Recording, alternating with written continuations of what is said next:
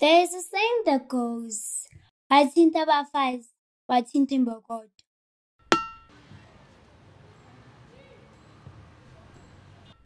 Which basically means that the spirit of a woman cannot be broken.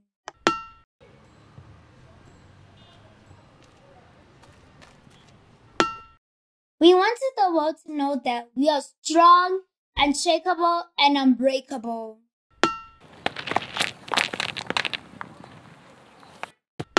But maybe they hurt us because we told them that our hearts were as strong as rocks.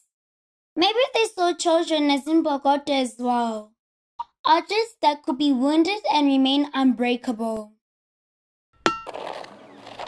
There's a saying that goes,